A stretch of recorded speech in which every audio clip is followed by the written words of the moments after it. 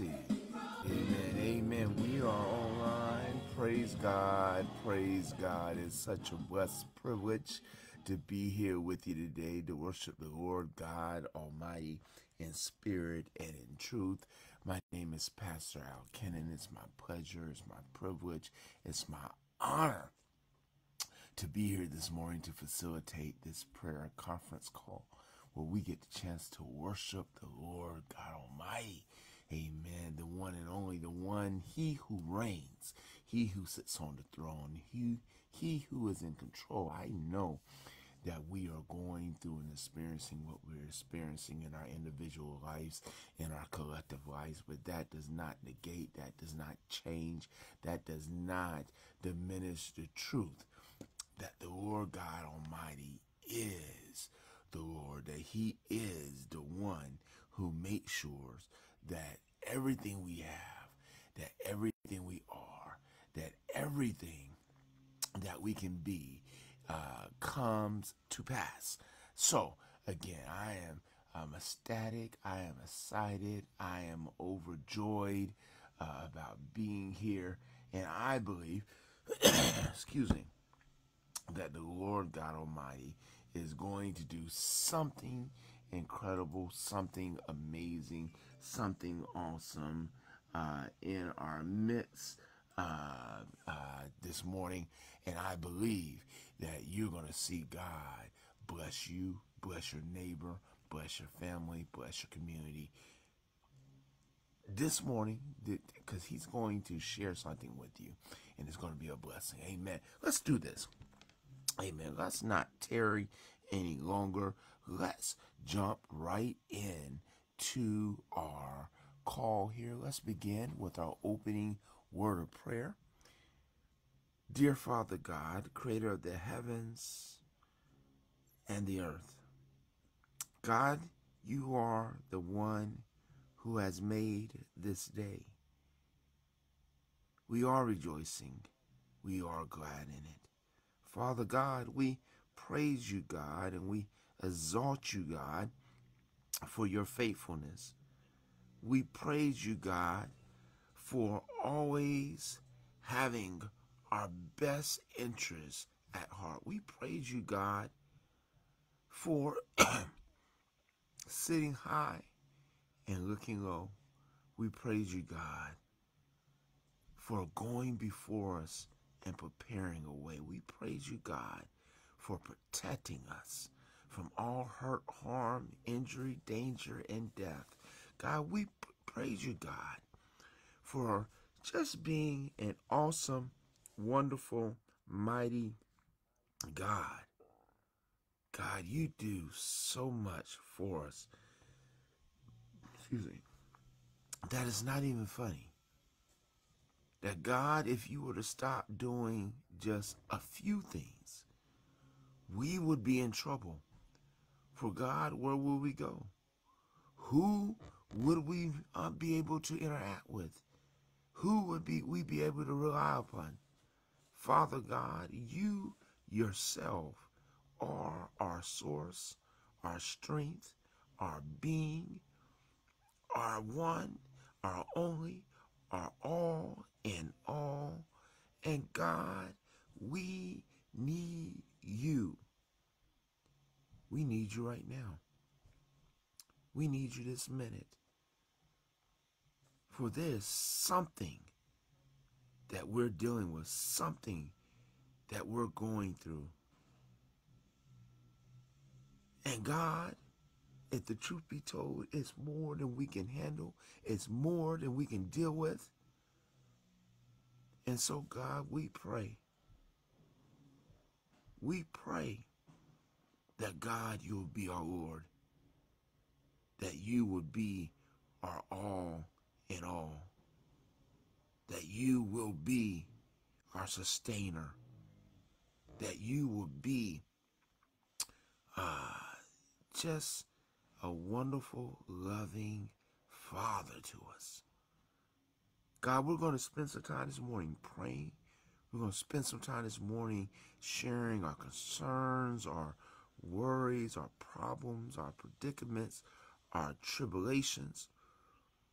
But God, we know we're sharing it with you because you have the power, you have the ability to overcome all that we're dealing with. So, God, transform now our messes into our messages, transform our tests into our testimonies, and God, use us so that someone may come to know you through the free pardons of their sins this morning, today. God, we love you and we thank you. It's in your Son's mighty, matchless, marvelous, and magnificent name that we do pray. Amen. Amen, everyone. Amen. Good morning for those who uh, may not, uh, I may not have spoke to at the very beginning because you just uh, connected with the call. You just came online. Good morning. I want to personally welcome you to Inspirational Wednesdays. Now, if you have your Bibles, if you have a device with a Bible app on it, please turn with me to the Gospel of Mark. Amen. The scriptural focus of our devotional comes from Mark chapter 12, verses 41 through 44. That's Mark chapter 12, verses 41 through 44. Amen. Uh, I will read from the New Revised Standard Version of the Scripture. Amen. It reads Jesus sat down opposite the treasury and watched the crowd putting money into the treasury. Many rich people put in large sums.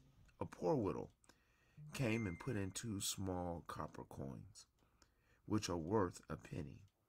Then Jesus called his disciples and said to them, Truly I tell you, this poor widow has put in more than all those who are contributing to the treasury. For all of them have contributed contributed out of their abundance, but she out of her poverty has put in everything she had, all she had to live on. Thus far, the Word of God. The title of our devotional this morning is When Sacrificing Becomes, becomes Sinful. When sacrificing becomes sinful. Amen. For the longest time, I believe that whenever we talked about sacrificing to the Lord God Almighty, no discussion would be complete without spending time highlighting and addressing the widow's mite. Many of us are aware of the widow's mite. It's a pericope of scripture uh, where Jesus observed a widow literally give everything she had as an offering at the Jewish temple. We're told that she only had two small copper coins. Together, their entire value was merely one penny. This woman took the only money she had and put it all into the treasury. So many times we have heard preachers, Sunday school teachers, midweek Bible study instructors, and other ministers rant and rave about the faithfulness of this widow. We've been told that if we really want to sacrifice, we must sacrifice like this widow did. We must be willing to surrender every cent we own to the Lord if we really want to demonstrate our faithfulness and our love for Him. Yada, yada, yada, yada, yada. As we come together this morning for today's edition of Inspirational Wednesdays, I want to challenge that conventional understanding from this particular biblical narrative.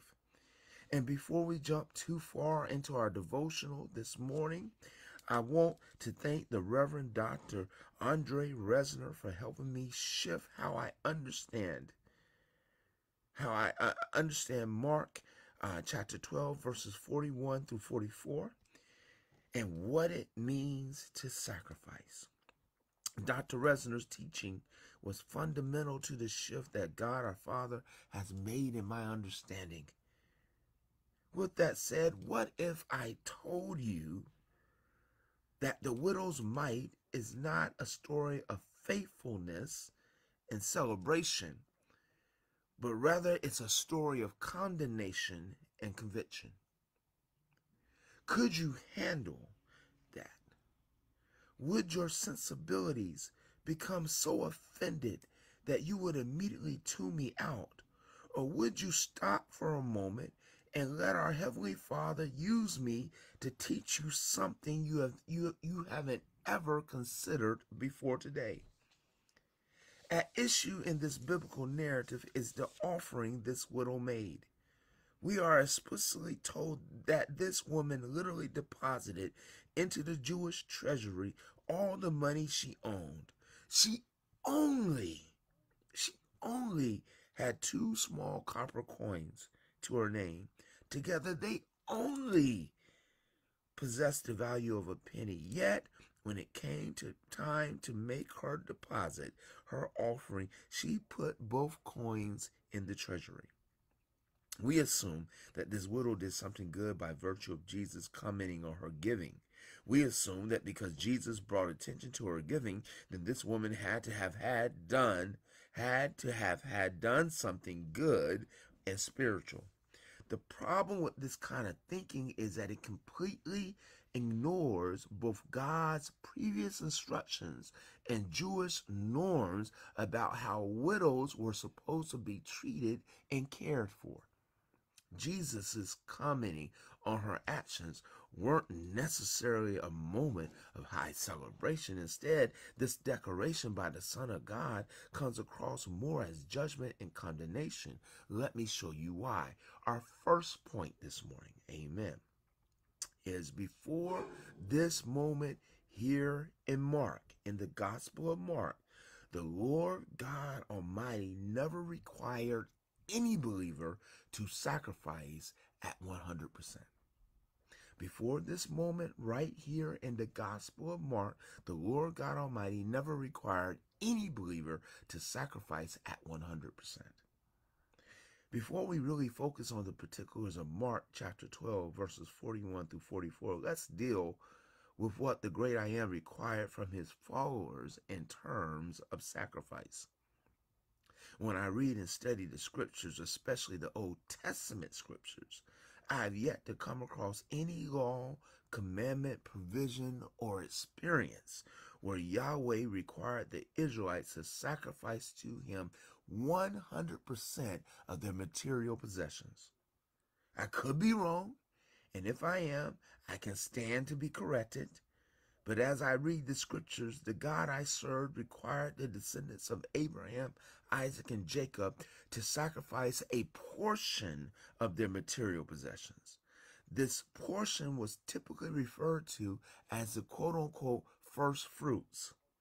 Regardless of whether the Israelite in question was a herder or a farmer, Yahweh required a first fruit sacrifice from this person as a sign and demonstration of his or her gratitude to God for blessing him or her as he had. Later on in Scripture, the terminology used when the Israelites sacrificed to God shifted away from first fruits to a one tenth tithe of any harvest of crop, birth of animal livestock, or acquisition of any money in the normal course of doing business and or simply living.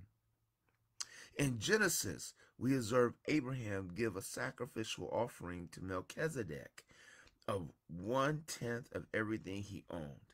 Time and time again, the Israelites tendered to God or the people God chose one tenth of whatever the offerer in question possessed at that moment until Luke's Acts. Amen. Until we get to the Gospel of Luke and the New Testament uh, book of Acts, because they're really one book, all right? We'll do it that later. Until we get to Luke Acts, and until it was written in approximately 70 to 75 AD, we are never told that God our Father ever required any believer to sacrifice 100% of their material possessions for him.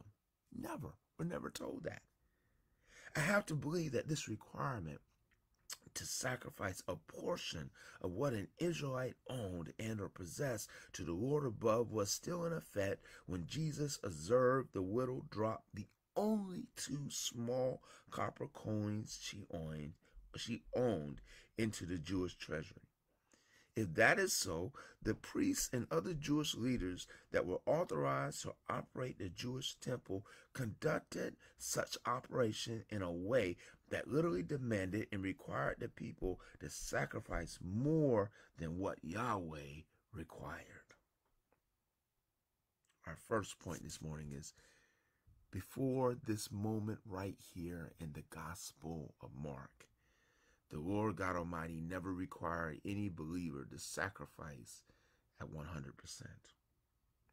Our second point this morning the Lord God Almighty exempted widows along with orphans and aliens from the sacrificial requirements Torah imposed upon normal Israelites. The Lord God Almighty exempted widows along with orphans and aliens from the sacrificial requirements Torah imposed upon normal Israelites. If operating the temple treasury incorrectly wasn't bad enough, the priests and other Jewish leaders that operated the operated the temple did something else.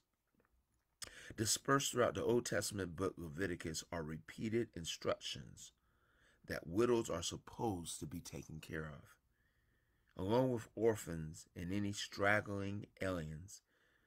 The Israelites were under divine command to care for widows, just as Yahweh had cared for Israel when it was enslaved in Egypt.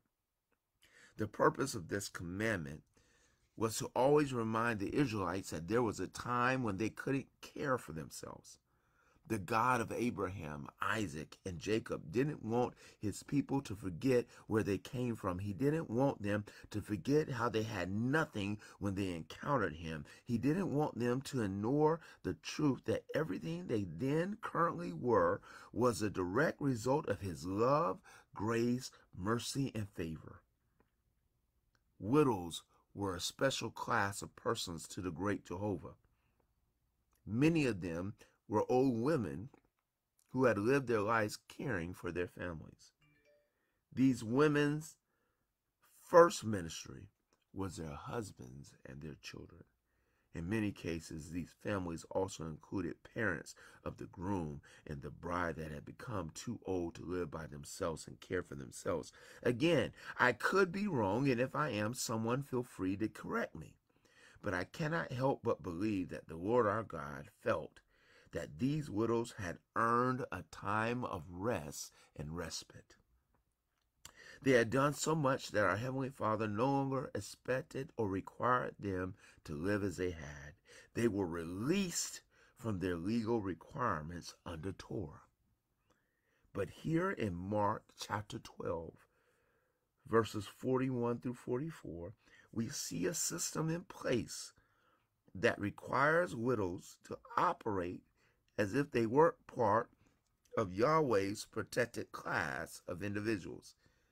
This widow came to the Jewish temple to deposit her last two small copper coins into the treasury because that is what the priests and other Jewish leaders required her and other widows like her to do. When Jesus observed this injustice occur, I believe that he wanted his disciples to take notice of it. I am convinced in the new movement he was creating, i.e., the church, Jesus did not want widows or other protected classes of persons abused and mistreated like the priests and other Jewish leaders were doing.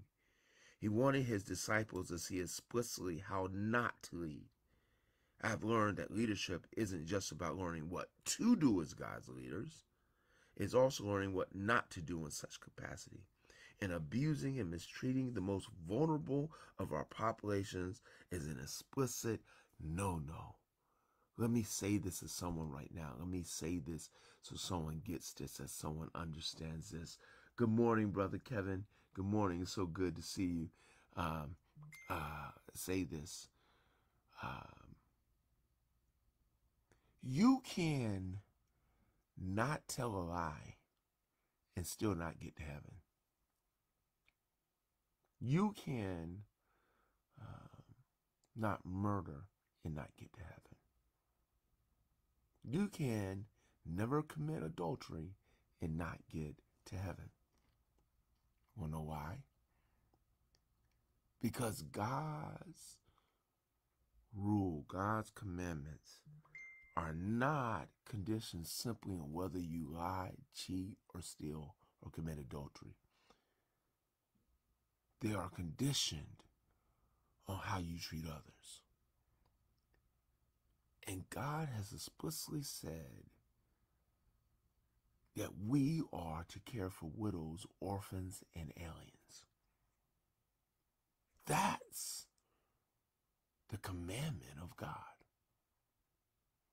And any time we mis- mistreat the widows, i.e., our elders,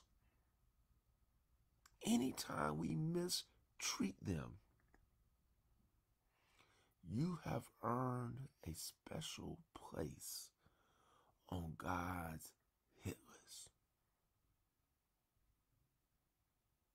That's because God wants us to care for our elders like he cares for us. And someone here today has been disrespectful to, to, to your elder or elders. You've been cruel. You've been capricious. You've been disrespectful. Some of you have even physically hurt elders. If I was you, if I was you, I would fall on my feet and fall on my knees in my face right this very instant and, and, and, and beg God for forgiveness. Because if you've been one of those to mistreat, abuse, hurt, harm, or injure an elder, a widow, then you've got a special, a special uh, day coming up with the Lord, and I don't want to be there with you. In fact, you're going to be there by yourself because I'm not showing up with you on that one. No, sir. So, our first point this morning is before this moment here in the Gospel of Mark, the Lord God Almighty never required, excuse me, any believer to sacrifice at 100%. Let me say that again. Before this moment, right here in Mark, the Lord God Almighty never required any believer to sacrifice at 100%. The second point is the Lord God Almighty exempted widows along with orphans and aliens from the sacrificial requirements Torah imposed upon nor normal Israelites. And our last point this morning is the widow's mite is a story of judgment and condemnation against those believers that have both the ability and the resources to truly sacrifice to the Lord God Almighty, but don't. Let me say that again. The widow's mite is a story of judgment and condemnation against those believers that have both the ability and the resources to truly sacrifice to the Lord God Almighty, but don't. Having addressed the two previous points, we can now get to the ultimate point Jesus makes here in Mark chapter 12, verses 41 through 44. Remember, Jesus, as the Son of God, is sitting in his house, watching his people sacrifice to himself. What we observed, what he observed, were a whole lot of people that were financially and economically capable of making the sacrifices that God our Father required of them, yet when they actually approached the treasury to make their required sacrifices, none of them actually sacrificed anything of significance to the Lord. Mark explicitly says that these economically and financially wealthy people gave offerings from their excesses. They sacrificed from the money they had lying around in chests and banking accounts. What they placed in the Jewish treasury didn't remotely begin to approach a tenth of what they owned and possessed. If we had to assess exactly how much money these persons actually deposited in the treasury at the temple, it was probably barely 1% of everything they owned. We really shouldn't be surprised by this. Time and time again, many of us present day Christians also don't sacrifice as the Lord God Almighty requires. I've been members of two separate churches, and I have pastored two churches. And in all instances, I've observed the same persons that drove up to churches in luxury cars from homes and houses and wealthy suburbs, wearing the latest and most expensive clothing articles, literally take out their checkbooks and write these churches $20 offerings. Here, God has gone out of his way to bless so many of us to have exactly what we have today. And the best offering that we could give him is a $20 offering. Are you kidding me? Some of the same people out here popping their collars, how they don't eat here, they don't eat there, they don't go here, they don't go there, they don't wear this, they don't wear that, they don't uh, uh, uh, do all kind of things. But yet, you give a piss poor offering to God. I mean, really. Now let's take a moment and think about that thing for a second. Amen. Excuse me. Let's think about that thing for a second. You are basically saying to God, you believe that Burberry, Louis Vuitton, Brook Brothers, Gucci, uh, uh, Maserati, Mercedes, BMW, uh, Tiffany's, all these other places are more worthy of your financial fidelity than God is. And here's the thing. Unlike all these places you shopping at, God doesn't need your offering. So let's get this straight. He doesn't need your offering. He requires an offering from you to see if you're going to put the things he is giving you before him. And so the funny thing is, when we can go to all these other places and pay wholesale, not this, and pay, pay the pay the whatever the price is.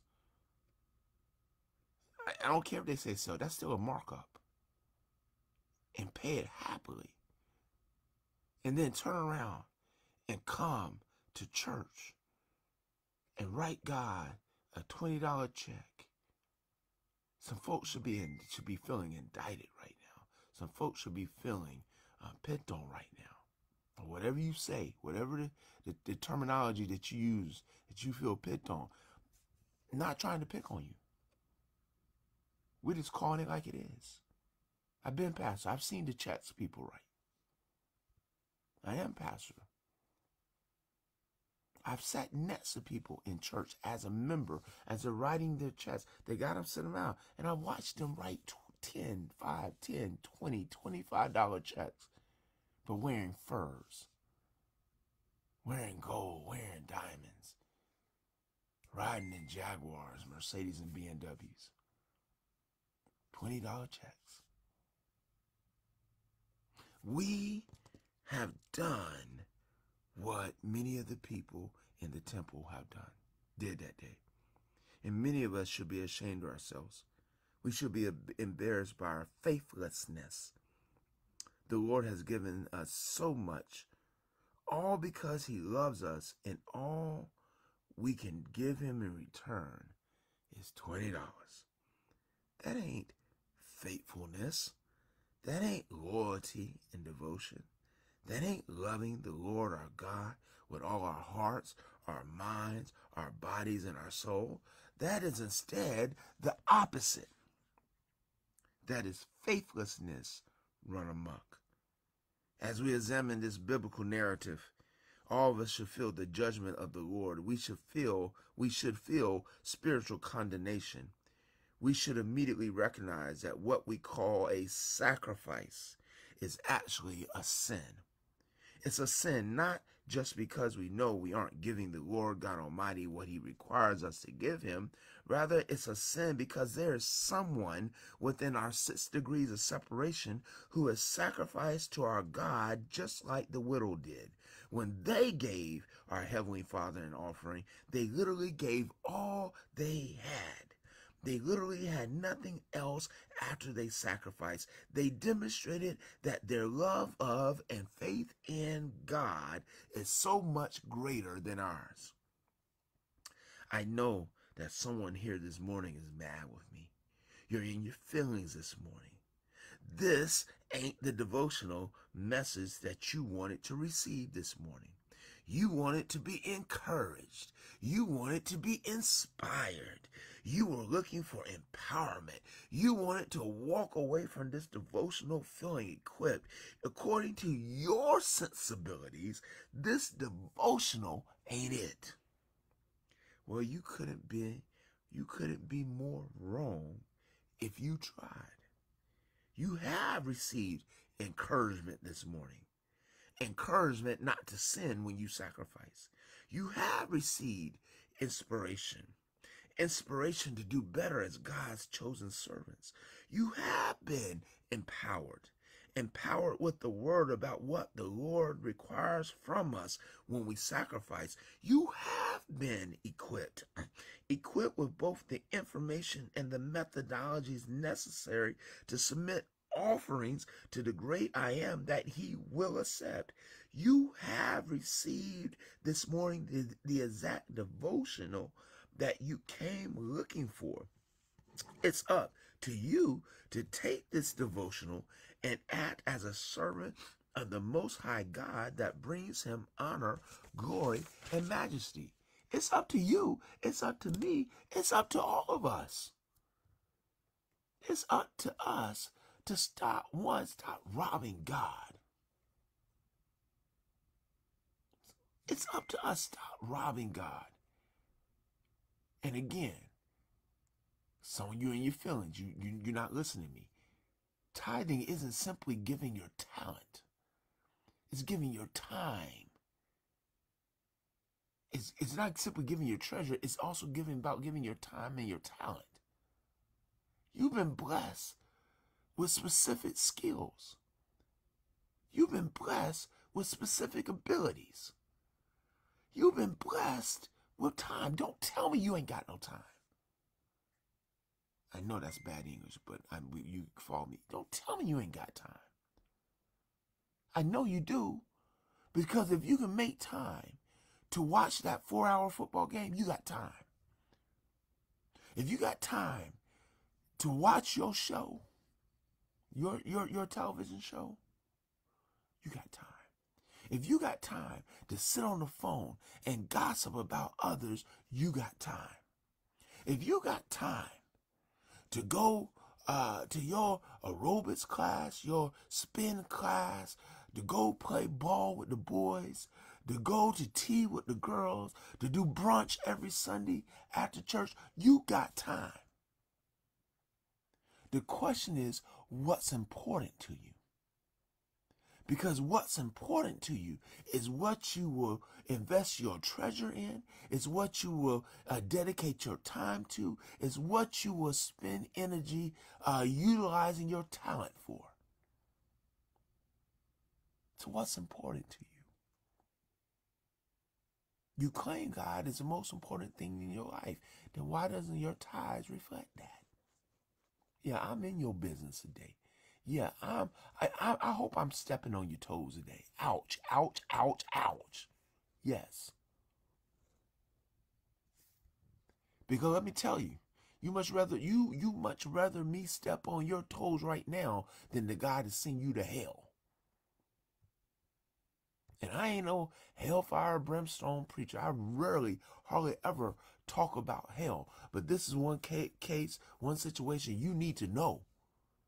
You keep robbing God and rob not and not only robbing God, but forcing widows to sacrifice in ways he never intended. You gonna wish the only thing I did was step on your toes. I'm trying to give you a chance. God is trying to give you a chance. He's trying to save you from from an impending doom. If you know that you have been like the priests and the uh, uh, and and the other Jewish temple leaders, and you have forced widows, elderly people, to do something that God does not require them to do, to give it away. God does not require them to give. You need to repent. And again, it may not be you, it may not be because of the offerings they've given at church. It may be how you've treated them, the disrespect you've shown them, the, abuse you've uh, uh, inflicted upon them. Whatever it is, you need to repent. And repent quickly. Okay, I'm done. Because I know uh, folks going to start getting mad. They're going to start arranging their Let's Go uh, Stone Pastor Al committing. Amen. Because I'm talking about something that we care not to deal with. Uh, amen. In the church. Amen. yes, 2,000 years may have elapsed since this happened. Uh, but there are some of us in the church who are still committing the same offense to God that these uh, priests and temple leaders committed uh, back there when Jesus was walking the earth. Amen. Amen. Let's do this. Let's have a prayer over our devotional here this morning. And then what we'll do, we'll move into the devotional, I mean, the prayer section of our call where we get to hear from you, to receive from you your prayers, your prayer requests, your praise reports, your words of encouragement, your testimonies, and your witnesses. All right? Here, let's go to God in prayer. Dear Father God, creator of the heavens and the earth, God, this is a day that you have made. We are rejoicing. We are glad in it. God, thank you for this devotional. No, it wasn't a raise the roof devotional. No, it wasn't a fall out and uh, in the spirit devotional. No, it wasn't one that had us running around the church shouting at the top of our lungs, but it was still your devotional. It was still encouraging. It was still empowering. It was still equipping. It was still inspiring because God, you set before us a course correction. You set before us the information and methodologies we needed so that God, we would be able to better exercise our Christian discipleship and stewardship. For some of us, God, we had no idea that what we were doing was wrong. No one is taking the time to teach us, to show us a better way or the right way of handling it, of doing things. No one took the time to do that. But God, here we are. We are magnifying you. We're celebrating you because you did. And now that we know God, we want to do better. We want you to find uh, uh, that we're good and faithful servants, not that we are uh, abusers, manipulators, liars, cheaters, and stealers. Father God, for those of us that have known better and still haven't done right, we pray right now for forgiveness. That God, you forgive us of that sin that God, you will forgive us of taking something that you meant to be an act of faithfulness and turning it into a filthy act of faithlessness. God, we don't we don't know why. Well, yeah, we do, God. We know why. For some reason, we have let greed take a take a hold of us. And letting greed take a hold of us, God, we've required from our widows, from our elders, things that you have instructed us not to require from them. God, we hope and pray that you have room in your heart to forgive us. And that God, you will restore us. And that in forgiving us and restoring us, as we repent for this sin, God, help us to turn away from this. Help us to never, ever do this again. Father God, we thank you for this space, this place, this time for this uh, prayer conference call. We pray right this very instant that God, you will continue to be with us. Your Holy Spirit will rest, rule, and abide with us on this prayer conference call. And that God, you will be blessed. That God, you will be anointed. That God, you will uh, be magnified and praised this morning, glorified beyond all measure. Father God, thank you for everyone who's on the call. God, we pray that right now you are preparing their hearts and their minds to share with us their prayer requests, their prayers, their praise reports, their words of encouragement, their testimonies, their witnesses, and that God, you are sympathizing and empathizing us so that God, when we when we lift these prayer requests to you, God, you hear them, you receive them, and you move on these persons' lives and on their behalves, in their lives and on their behalves. Father God, we love you and we thank you. We honor you and we praise you. It's in your Son's mighty, matchless, marvelous, magnificent name that we do pray. Amen. Amen. Praise God.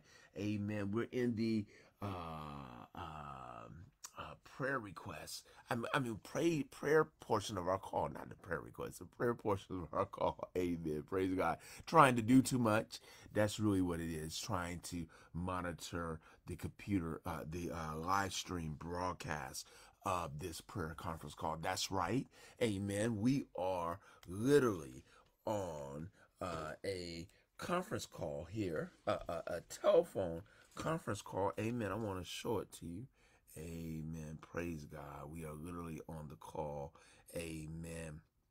Uh, where uh, God is taking prayer. God has had us expand the call to put it online on Facebook. In fact, there are people who are even going to uh, be looking and watching, praying with us. See, amen. Inspirational Wednesdays on the call. Amen. That are going to be praying with us through through YouTube. Amen. Because we're going to post the playback on this on YouTube. Now, before we open up the floor to receive your prayer requests, amen, let me give you instructions, amen, how you submit your prayer requests uh, during this call. Because we got several different means of people participating on the call. If you're on the actual live telephone conference call, I'm about to turn the mute function off. At that point, just speak up. Tell us who you are, where you're calling from, what it is we can pray for you. Okay. Now I know there's some people that are worried that uh, you got busybodies, rumor, gossip uh, spreader, rumor mongers uh, on the call. I pray that we don't. But if that you're worried about that, you're worried that those pe- persons will get on here just to get your information to share it, then you don't have to tell us where you're from or who you are. Just tell us how we can pray for you. Okay. If you're on the actual, uh, if you're on Facebook, you're, you're participating in the call through Facebook. This is what I want you to do. I want you to take advantage of that comment box right down there at the bottom of the screen. Amen. Type in, just as Pastor Kevin and Sister Brenda and, and Sister Gail and Sister Tanya have been doing, type in your prayer requests. That's right. Type it in. And then what I will do, I'll raise it for you as if you're on the actual call. Amen. Praise God. For those persons who are watching us right now on YouTube, you're watching the playback recording of our call. You can still submit your prayers, uh, your prayer requests, and your prayers to us. This is what I want you to do. I'll give you two ways to do it. If you have Facebook, and most of us do, go to my Facebook profile. My name is Al Kennon. Last name spelled K E N N O N. Go to my Facebook profile, click the message radio button, and send me a private message with your prayer request. If you're not on Facebook, you should have email. Email me. My email address is Pastor Al Kennon III at gmail.com.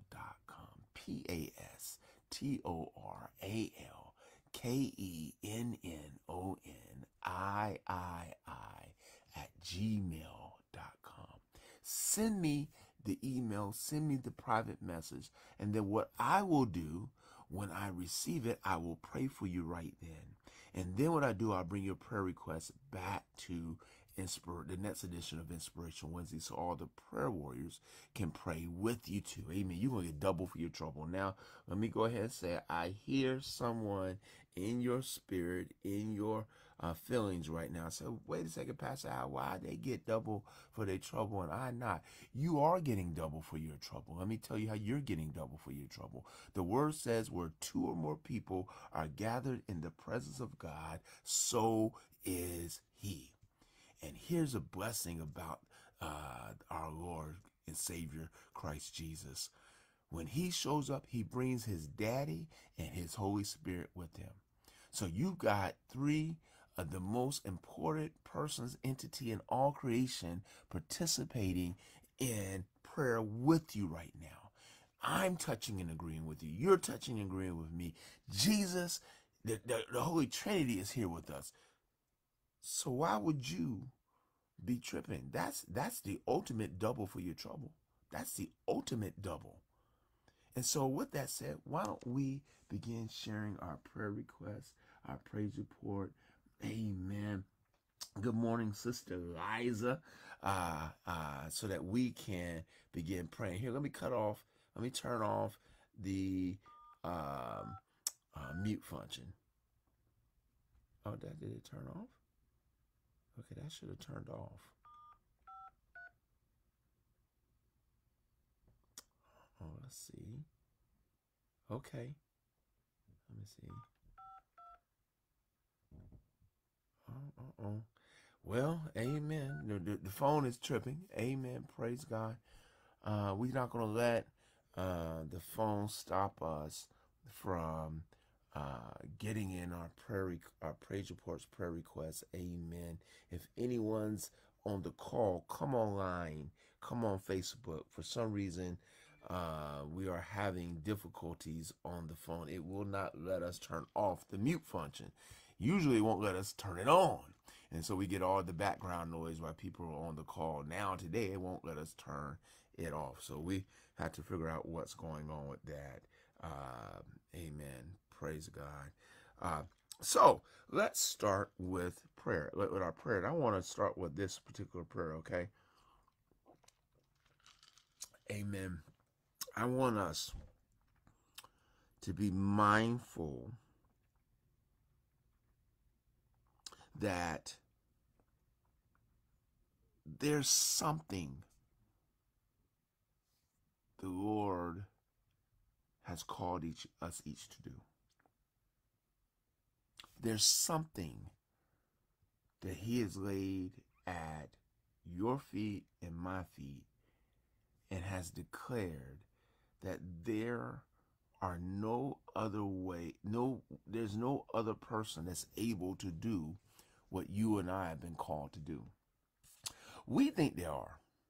We we we think there are other persons that can do what uh, we are we are called to do, and so we don't do it, not realizing that we are holding the entire body up from doing what it's called to do, because the rest of the body is waiting for us to do what we're doing, what we'll do what we need to do, what we're called to do. And so I want to begin this morning praying for those persons who you know you've been called. You know that the Lord has assigned a specific task to you. But for whatever reason, you're running. And I don't want anyone to get scared. I don't want anyone to sign off to run away from me thinking I'm calling someone to ministry. I am not calling anyone to ordain clerical ministry. That's not what this is about. What I'm saying is every one of us has an assignment to do.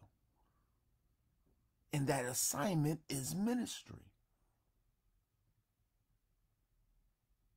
And believe it or not, you are so essential to God's plan that by not doing what he's tasked you with doing, you are holding up the rest of the body from doing what it needs to do. So I want to pray for someone. Amen. I want to pray for someone this morning. If you're called to do something, but you're not doing it for whatever reason, don't worry, you're on the virtual altar. All right, here, let us go to God in prayer. Dear Father God, creator of the heavens and the earth, God. Father God, we acknowledge that you have indeed called us to play specific roles, to fulfill specific duties and responsibilities, to be specific parts of your body. What I'm called to do, God, may not be what my neighbor is called to do, and what my neighbor is called to do may not be what I'm called to do, God. It really doesn't matter what it is we're each called to do. It matters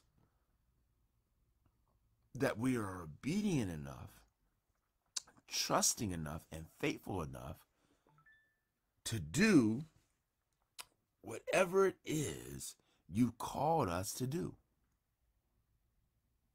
For someone, God, the call is simply to be present, engage in the ministry of presence. For someone else, the, the, the, the, the, the calling is simply to engage in the ministry of encouragement. For someone else, the, the, the, the ministry is simply to be a, a be to engage in a ministry of help. For someone else, the the the the uh, calling is simply to engage in the, the ministry of administration. Whatever it is, God, the, we, we know what the call is. I mean, we can pretend like we don't know what we're called to do. We can pretend, we can feign ignorance regarding our calling. But God, we know what we're called to do. Because it's the very same pull urge, tugging, desire that's right, right there at the forefront of our minds, our spirits, our bodies, and our hearts when we wake up each morning. So we know what we're called to do. For whatever reason, we just aren't doing it. God, I pray that you would help us see fulfilling our callings as yet another form of obedience. Just like you required us to pray, just like you required us to study your words, your word, serving in the capacity that you've attacked, tasked us with. It's obedience too. And so, God, we pray right this very moment right this very morning that God, you will help us to say yes. You will help us to serve in the capacities that you've assigned to us. You will help us to be the Christian disciples and stewards that you're calling us to be. No, God, this is not a prayer uh, calling persons into ordained clerical ministry. God, instead, this is a prayer merely encouraging whoever it is to pick up their tool, pick up their hammer, pick up their saw, pick up their nails, pick up their drill, pick up their level, pick up whatever it is, and begin work on building, on constructing whatever it is you would have them build and construct. Father God, I'm thankful for all the brothers and sisters that you've surrounded me with. And I pray, God, that you continue to bless them and move in their lives in ways, God, that they aren't they can't even fathom and aren't even aware of. It's in your son's mighty, matchless, marvelous, magnificent name that we do pray. Amen. Amen, everybody. Amen. Praise God. If you have a prayer request, praise report, um, um, um, uh, words of encouragement, testimony, or witness, and you would like to share that with us, please jump in right now.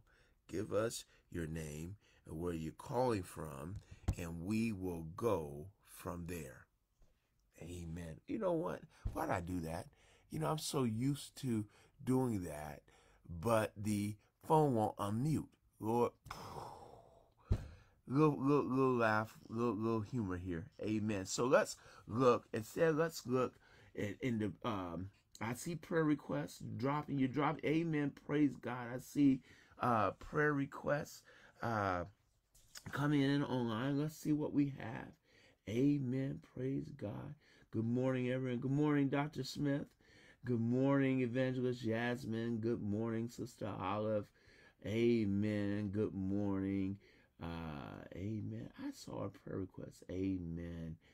Uh, uh where did I see that prayer request? Okay.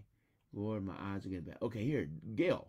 Amen. She says, please pray for me for healing and strength she said these holidays are going to be very hard without Teresa. In fact, thank you, Sister Gail. That I, am so glad you mentioned that prayer request. Let me tell you, uh, tell us something.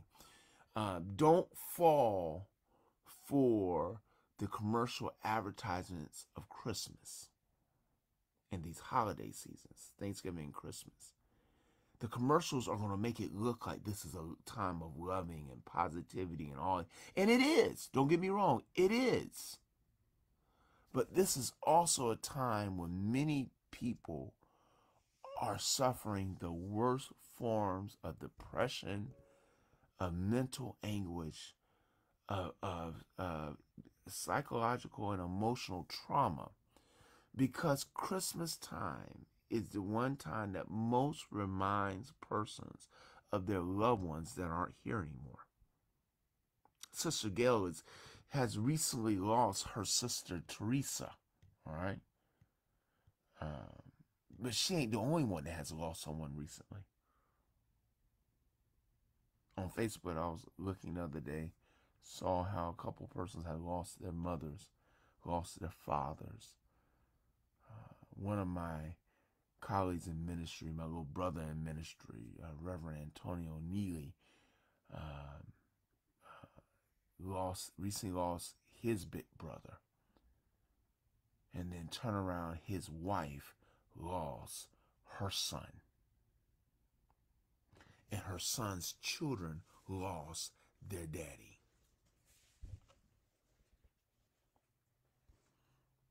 This Christmas is going to be hard this Thanksgiving is going to be hard because now there's an empty place at the dining room table. Now there's an empty place in the den. Now there's one less voice present in the fellowship, in the communion.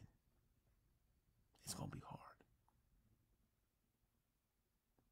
And Sister Gail, thank you for raising that prayer request. My God. Woo, thank you. Amen. Praise God. She also wants us to pray for her stomach, for her housing, her finances. She wants us to pray for her son Teddy and her daughter Shamika. She wants us to pray for Rich and Carol, for Kathy, for Judy, for the homeless, for the jobless, for the sick, for the elderly, for the grieving, for the lonely, for the depressed, for those persons in the hospital, and nursing homes, for kids, for teachers, for the ministry team, for the prayer list, and call for everyone everywhere. Amen. We're going to do that. We're going to go to God in prayer on these very things. This is what I want you to. I want you to touch. I want you to touch agree. I want you to put uh, the names of anyone who falls in any of these categories on our virtual altar as we go to God in prayer here, let us uh, pray. Dear Father God, creator of the heavens and the earth, Father God, you have you have been so incredible, so amazing, so wonderful that we would be wrong, terribly, horribly wrong, to begin any prayer asking you for anything without first pausing to praise you. God, you've been faithful. So faithful that you are your own definition of faithfulness. Regardless of who we may want to believe is faithful, we know that their faithfulness pales in comparison to you. God, you have loved us better than we loved ourselves. In fact, God, your love has surpassed has surpassed a mother's love or a father's love for their children. For God, you have never given up on us.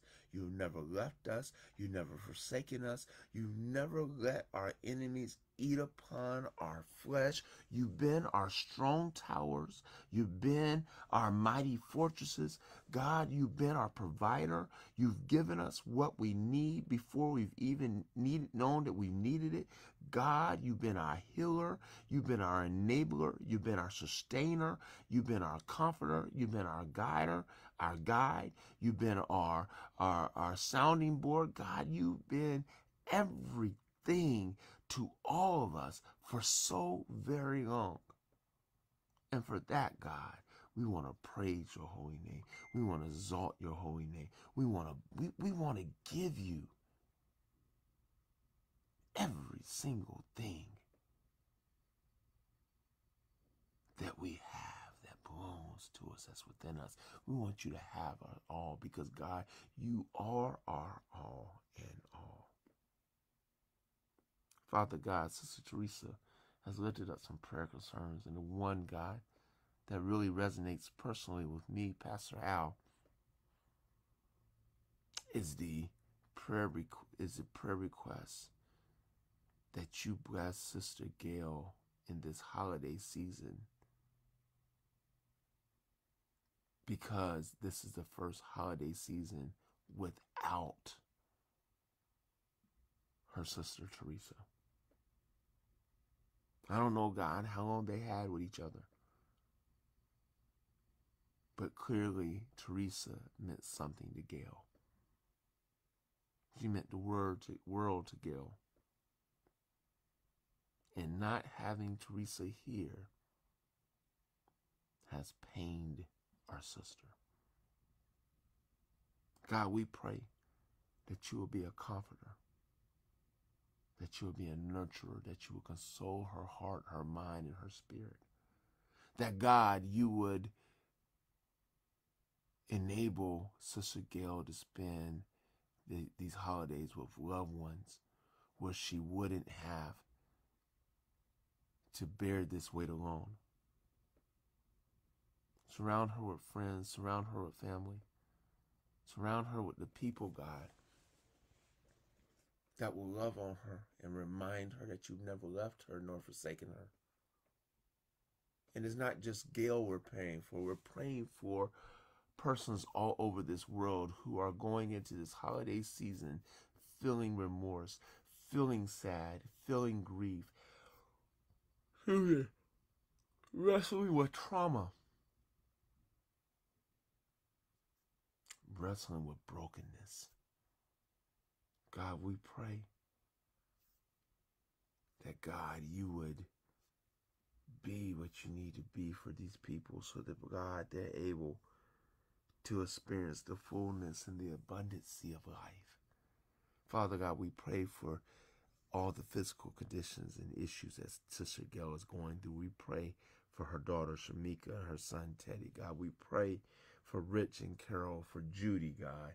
We pray for Kathy. We pray, God, for the homeless, the jobless, the sick, the ill, um, the kids, for the elderly. We pray for persons in hospitals and nursing homes. We pray for children and teachers. God, we pray for all the ministers on the minister prayer team and the prayer team call list, uh, prayer list. Uh, yeah, the prayer teams, ministry teams, prayer list. God, we pray uh, for everyone everywhere, just as uh, Sister Gail has asked us to pray. And God, we hope and pray that not only you answer these prayers, these explicit prayers that Sister Gail has lifted up, but answer the ones, God, that she has she has not mentioned, the ones that she's too scared to mention for fear that she would be ridiculed and isolated because of what she's dealing, what she's going through. God, we love you and we thank you. It's in your son's mighty, matchless, marvelous, magnificent name that we do pray. Amen. Amen, everyone. Amen. We are in our prayer conference call again. The phone line is up. You can call in. You can hear me. I just can't hear you. For some reason, the call will not let me turn off the mute function. So, if you if you're on the call you want to raise a prayer request, praise report, prayer, words of encouragement, testimony, or witness, you're going to need to come online to Facebook. Uh, come to First Fellowship Charlotte. Amen. Uh, that's our uh, name of our church. Uh, you'll find us online, First Fellowship Charlotte, uh, for or First Fellowship Ministries of Charlotte. Uh, click on the uh, the FaceTime, Facebook live broadcast, and you can type in your prayer request, or you can just simply go to my page. I've shared this to my page. You can go to Pastor Kevin's page. He's shared it to his page, and just click on the live broadcast, and then you're able to type in your prayer requests, your praise reports, your prayers, your words of encouragement, your testimonies, witness and witnesses. We don't want because of the um, telephones malfunction to keep you from lifting up whatever prayer requests that you have. All right. If you're online, keep typing in your prayer requests. Keep sending your prayer requests. If you're watching the playback right now on YouTube, send me the private message to my Facebook profile, Al Kennon. Amen. K E N N O N. Or send me an email. Pastor Al Kennon III at gmail.com. P A S T O R A L K E N N O N I I I at gmail.com. And we will pray for you then. Amen. I see we've gotten some new prayer requests. Amen.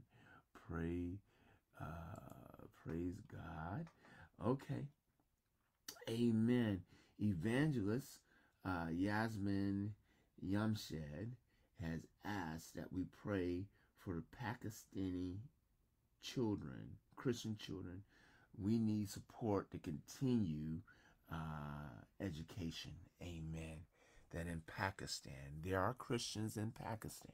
So let me let me kill that devil because you know I know there's some people like what I didn't know there were any Christians. Yeah, there are Christians all over the world, and so there's Christians in Pakistan.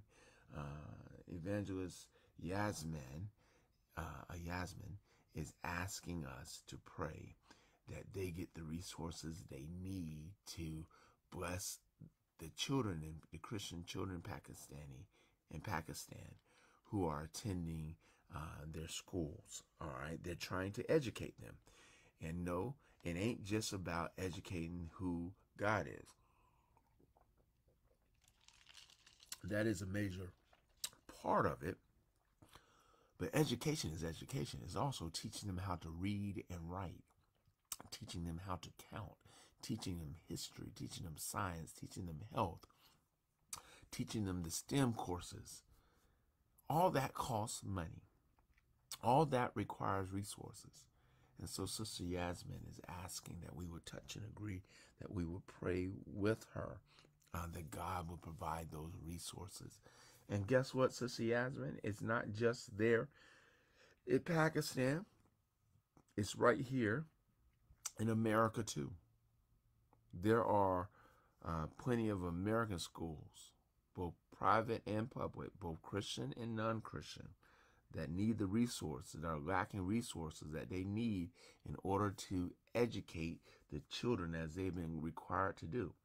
And so we're going to touch and agree. In fact, if you don't mind, Evangelist Jasmine, I'm going to use your prayer requests uh, as a springboard prayer uh, to deal with this issue all over the world. All right. So uh, if you want to put a particular school on our virtual altar as I pray, that's fine. But I am putting all schools on the altar. Dear Father God, creator of the heavens and the earth, hallowed is your name. It is high and it is supposed to be revered. It's supposed to be revered above all else. Father God, we come before you in the presence of your name, asking you, God, to look out for the babies. They have to be educated, God. They have to learn. They have to go to school, God. That's the requirement. But as much as our systems, our states, our governments require us to educate our children,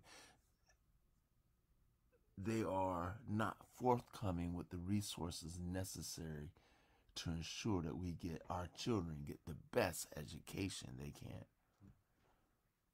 Money is withheld, supplies withheld, equipment are withheld.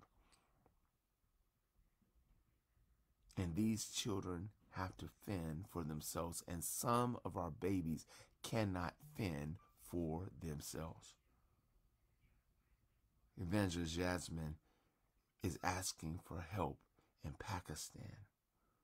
But God, if we're going to be truthful, the help doesn't just need to be in Pakistan.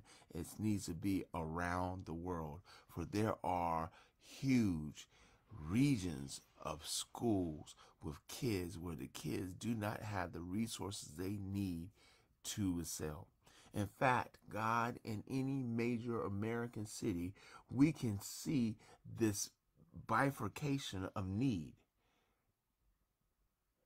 This, this, this, this dualism need because if you're in the suburbs or you're in that those part of towns with a high tax base your schools get everything. If you're in the inner city where where there's high crime low tax base then your schools are lacking. God we need that kind of foolishness to be eradicated and eliminated we need that kind of foolishness to miss us so that our kids are able to grow into the productive citizens that you call them to be. Father God, thank you for Sister Yasmin not thinking it robbery to come before your throne and with the prayer warriors to touch and agree to ask for these resources. It's in your son's mighty, matchless, marvelous, magnificent name that we do pray. Amen. Amen. Amen. Praise God. Uh, amen. Sister Brenda Hill, amen, is asking us to pray for her daughter. She says her daughter is having surgery today. Amen. That's right. Amen, Sister Brenda. We are touching and agreeing her daughter is having surgery. It doesn't matter if she's having uh, an ingrown toenail removed, uh, something as simple as that. We are going to touch and agree and pray for your daughter, uh, as well as everyone who's going to have a surgical procedure happen today. Because here's the thing. Amen. Praise God. Here's here's the thing. Death occurs in the most serious surgery. and, in, in oh, no, let me say it. Death occurs in these simple outpatient surgeries as it to the same degree that it occurs with these most serious surgeries. There is no surgery that is not dangerous to the human body. We are invading the human body. And anytime we invade the human body, we put the body at risk of dying. So don't you sit here and think, especially those people who may know Sister Brenda and her daughter. Was she just having X, Y, and Z? No, it, it it's major. anything could happen. I've seen in the dental, dental office simple uh, dental surgery, and they had to call the ambulance because the person had a had, had a stroke, had a heart attack. Simple surgery, filling in a cavity. That's it. But that was enough to trigger a heart attack. Or it just was time when a heart attack happened. So we're going to touch and agree. We're going to believe that God is faithful, not only for the daughter of Sister Brenda Hill, but for everyone going through it. So again, go ahead, put your family member on the, put your friend, put your neighbor, put your church member, put whoever you need on our virtual altar. Go ahead and do that. Because that's the purpose of our prayer right now, which is to pray, which is to touch and agree. Dear Father God, creator of the heavens and the earth, We come to you right now, God, asking your keeping mercies, your protective mercy, your sustaining mercy. God, Sister Brenda Hill, her daughter is having surgery today. We don't know what for, and it's not important for us to know what's for. It's important, God, that we simply touch and agree that we pray. Pray for her well being. Pray for her protection pray, God, for the well being of every person that will be in that operating room today. We pray, God, that you would touch the heart, mind, and spirit of every single doctor in there, every anesthesiologist, every treat, every surgical, uh, every surgeon in there, every attending physician, every nurse, every nurse's assistant, every orderly, we, God, even pray that you would saturate the room and everything in there with your Holy Spirit so that everything in that operation operating room has to uh, be obedient to you. Saturate the sutures, the towels, the, the gauze, the, the actual anesthesia itself, the, the, the scalpel, the clamps, uh, the x-ray machines, the, uh, the x-ray viewing machines. I mean, everything the doors, the, the, the table, uh, the sink, the sponges, the uh, uh, the the all the equipment, the refrigerator, the medicines, the needles, the syringes, the uh, everything saturated all with your Holy Spirit. Whatever the persons that have to perform the surgeries are doing this are, are dealing with this more we ask you ask that you put that out of their minds that you let them compartmentalize their lives so that god they're not distracted and they don't make a mistake as they perform this type of surgery god we pray that you do this not only for Sister Brenda Hill's daughter that you do it for every single person that has to undergo surgery or will have to undergo surgery. In fact, God, there are some people, like we know there are some people that have had surgery scheduled today, but there's some people, God, that will have to have surgery because something is going to happen today. And so, God, we pray for those persons too. It doesn't matter if it's the OR the ER. God, keep your hands of grace and mercy all around them so that, God, they're able to come out and God, when you bring them out, heal them. Heal uh, Sister Brenda Hill's daughter and everyone else. Give them complete physical and mental and emotional recovery and restoration so that God, they're able to celebrate you and glorify you for all the wonderful, awesome, amazing, and incredible things that, that you have done in their lives. We thank you, God, and we honor you, God. It's in your Son's mighty, matchless, marvelous and magnificent name that we do pray. Amen. Amen. Praise God. Amen. Amen. Amen. Let's see. Pray. Amen. We looked at that one. Amen. Word. Amen. Praise God. Amen. Just checking. Uh. Ooh. Amen. Sister Olive asked that we would pray that God would have that she does what God would have her to do. Sister Olive, amen. We're, we're going to hit that prayer Amen. Um, it was really part of that first prayer that I prayed about doing what God has called us to do. And so we're going to um, uh, touch and agree. Amen. Praise God uh, with you and for you. Amen. I've got some prayer requests from some prayer warriors. Amen. Shabba dabba doom doom doom. Amen. Let me get trying to get to my list here. Amen. Praise God. Um, Dr. Suzanne Smith. Amen. Praise God. has tendered some prayer requests for us to lift up. She wants us to pray uh, for her mother, Sue's blood pressure. Uh, she's having some issues with blood pressure. She's having some issues with her stomach and her mind. Uh, uh, we want to pray that God goes gets gets right to the root of the issues and performs a wondrous supernatural work. Amen. She wants us to pray that uh, she completes her project and her paper this week with ease, wisdom, excellence, and ahead of schedule. Um, she wants us to pray that God leads her brother John in terms of what job is best for him. She wants us to pray that God gives a supernatural touch and restores and favor, favors all the areas in her areas in her life that she's asked him about and she wants us to pray that Thanksgiving time is a, her family is peaceful, loving, and very enjoyable. That last uh, prayer request, Amen, uh, Amen. You you don't know because somewhat some many of us take for granted the loving situation we have because we've always had loving uh, families and loving family members, but some people their family life is hell and I'm and please don't hear me saying that Dr. Smith's uh, family life is hell. But I'm taking what she said for those persons whose life, family life is hell,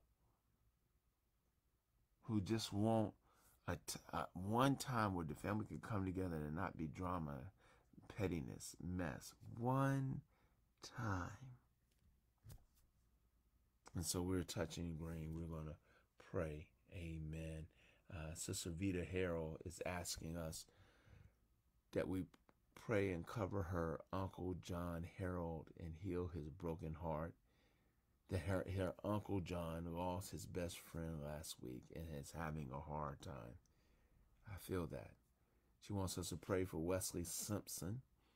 His house burned down and he lost almost everything. Let me say this Sister Vita, I don't know if you're online or if you're going to watch later. But you tell Brother Wesley he didn't lose almost everything. His all in all is God. He may have lost a house. He may have lost clothes. He may have lost furniture. He may have lost a computer, TVs, whatever, books. But these are all material things that can be replaced. They can all be replaced. But God told life, He told the enemy the one thing that it they could not have was Brother Wesley himself. so you tell Brother Wesley that while he may have lost all those things, he ain't lost what he needs, which is God. And if he trusts God, God will give it all back to him.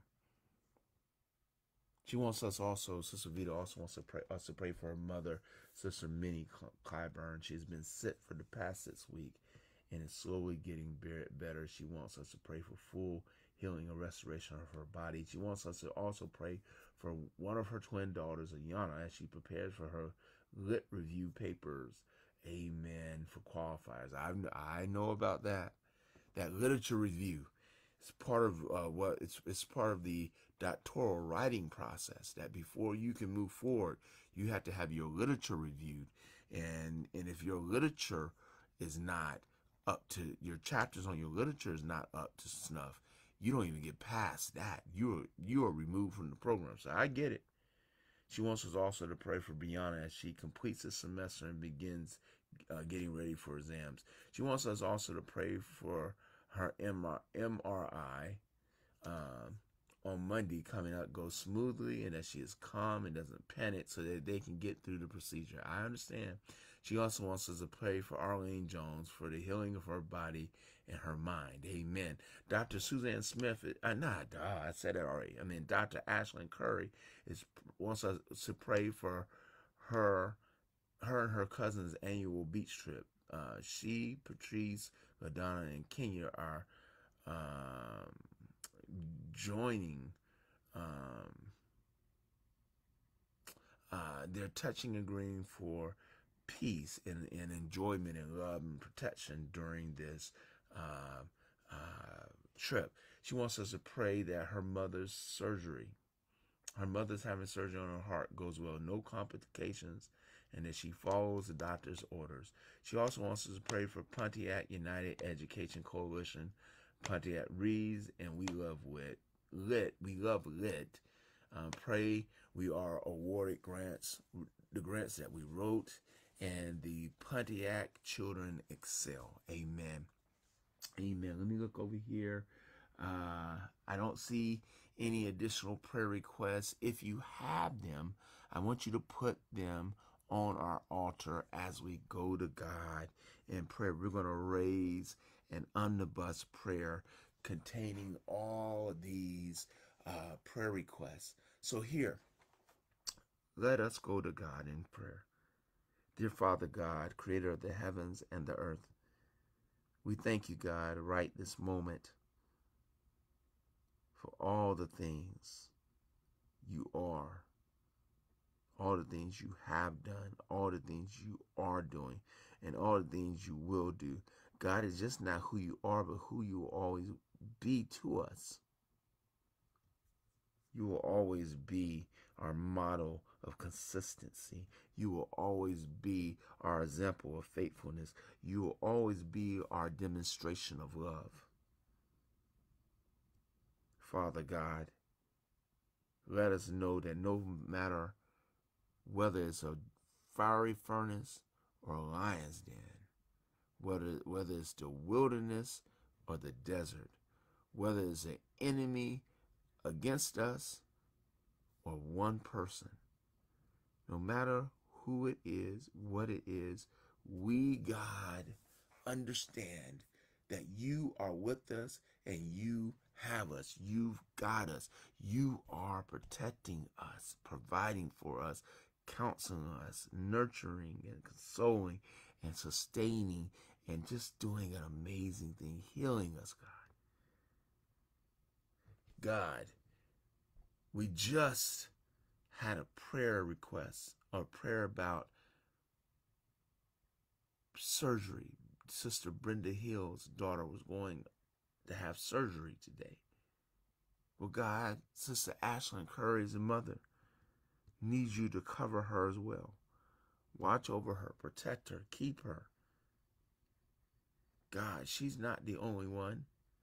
Uh, Sister Vita Harrell on Monday has to go in for an MRI. She's nervous. She's scared. She's anxious.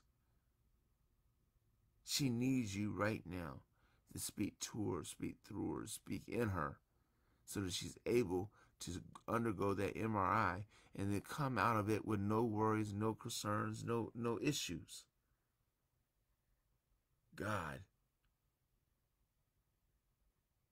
someone else has to undergo a procedure. And whoever it is, God, we pray that you will be as good and faithful to them as you are to Sister Brenda Hill's daughter and Sister Ashlyn Curry's mother. Heal, God, Sue Heart Soul's blood pressure. Heal her medical issues with her stomach. Heal, God, her mind. Do it supernaturally so that persons will know this kind of healing only occurs through you. This kind of healing only happens to you. You know, God, I think many times we have made your miraculous working power more commonplace than it is. That God, you require all. But God, many times we give you blah. You require, you require majesty. But many times, God, we give you commonality. And so, God, help us to not only discern when you're doing something miraculous in our life, but help us to praise you like we've lost our minds. God, we pray that you'll let Dr. Smith complete her project with excellence and let her complete it ahead of time. God, we pray for her brother John, that God, you would help him, lead him, guide him, counsel him about the next job you want him to take. God, we pray that you would touch Dr. Smith's life supernaturally and you restore uh, and favor all the areas of her life that she has told you about. God, she's praying. And God, I'm touching and agreeing. She's praying for peace among family members, that the Thanksgiving holiday is a joyous a time, occasion. There's not any drama, there's not any uh, confusion, pettiness, or mess. That God, you would uh, create an environment where persons are able to feel loved during this time. And it's not just Dr. Smith, God, but it's a whole lot of persons out here who are praying this same prayer. God, just get me through the next week. God, just make it so I can get through these those six hours uh, on Thanksgiving. God, get me through having to see this person. Because God, it has been contentious in the past. And these persons do not want to have to deal with such contention anymore. Father God, we pray that you'll be already into their Thanksgiving holidays and their Christmas holidays, saturating the space with love and togetherness so that they may have the experience they're desiring with it among their family members. Father God, we pray for Uncle John Harold that God, you would nurture him, him, comfort him, console him in the loss of his best friend. We pray for Wesley Simpson that God, even though he may have lost almost every material thing he had, let him know that he has not lost you. And that God, in your timing and according to your will, you will give him back everything, God, that, that he has lost. We pray for Minnie Clyburn, God, that she's been sick and ill the last week, that, that she's slowly coming out of it. God, we pray that you would heal her, God. We pray, God, that you would restore her, God and let her uh, slow down some. We pray for Sister Yana as she prepares for her literature review in her educational process. We pray, God, for Sister Brianna as she starts to prepare for finals. We pray, God, for, again, for uh, Sister Vita. We pray for Sister Arlene Jones for the healing of her mind and body. God, we pray for Sister Patrice, Sister Ashley, Sister LaDonna, and Sister Kenny, Ken, not Kenny, Kenya, as they all plan for their annual Cousins Beach trip. We pray that they're safe and sound. We pray, God, that you provide protection and provision for them. Take them to the beach, let them have a good time, and bring them back uh, in one piece. God, we pray uh, for the Pontiac United Education Coalition Pontiac Reads and We Love Lit, that we pray those grants get awarded and the children excel, God. And as we said, we pray for Ashlyn Curry's mother for heart surgery, that God, you let nothing happen. Father God, it's in your Son's mighty, matchless, marvelous, magnificent. And before we say amen, we pray for every other person that's in a situation just like this that has the same prayer request. So that you would do for them what you're doing for these individuals. It's in your son's mighty, matchless, marvelous, magnificent name that we do pray. Amen. Amen, everyone. Amen. Praise God. We want to thank you for being here with us today, being part of our uh, inspirational prayer conference call. We pray that it's been a blessed call. We pray that it's been one that has helped you uh, uh, encouraged you, equipped you, enabled you, empowered you, inspired you, edified you, educated you, whatever it is that you needed this morning, that God gave it to you and gave it to you in spades so that you can be the disciple and steward that God is calling you to be. Now, what we're going to do, we're going to shut this gravy train down. We'll be back at 12 right here on the same bat channel the same bat station for Bible study, noonday Bible study. Come back, join us for Bible study um, at 12 o'clock today. But we're going to shut this down so that we can recuperate, get ourselves together, and handle some things between now and then so that we may serve the Lord God Almighty with excellence and with effectively and efficaciously at 12 o'clock today. Let's have our closing word of prayer. Then we're going to get busy enjoying this day that the Lord has made. With that said, let us pray. Dear Father God, creator of the heavens and the earth, we thank you, God, for your faithfulness, your goodness, your theological consistency, God, your your spiritual consistency, your familial consistency, God. Everything about you is consistent. So consistent, God, that we can set our watches to your schedule and your demonstrations with it. God, we can stand on love, knowing, God, that you love us. Now, Father God, we pray that this time we spent together praying, lifting you up, magnifying you, touching and agreeing in your Son's name has been not for naught.